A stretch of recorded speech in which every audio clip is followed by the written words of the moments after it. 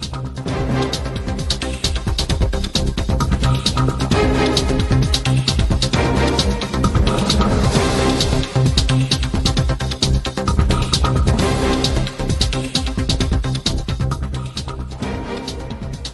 முதலமைச்சரின் வெளிநாட்டு பயணம் தொடர்பாக வெள்ளை அறிக்கை வெளியிட வேண்டும் என்று எதிர்க்கட்சித் தலைவர் எடப்பாடி பழனிசாமி வலியுறுத்தியிருக்கிறார். நான்கு முறை வெளிநாட்டு பயணத்தை மேற்கொண்ட போதிலும் கூட குறைந்த அளவிற்கான முதலீடுகளே ஈர்க்கப்பட்டிருப்பதாகவும் அவர் குற்றம் சாட்டியிருக்கிறார்.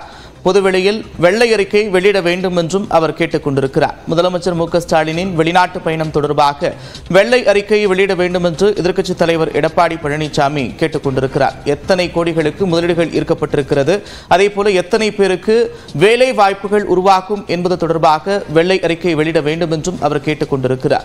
அதிமுக ஆட்சியில் முதலீடுகள் குறித்து அப்போதைய தொழில்துறை செயலாளர் முருகானந்தத்திடம் கேளுங்கள் என்றும் அவர் கேட்டுக் கொண்டிருக்கிறார்.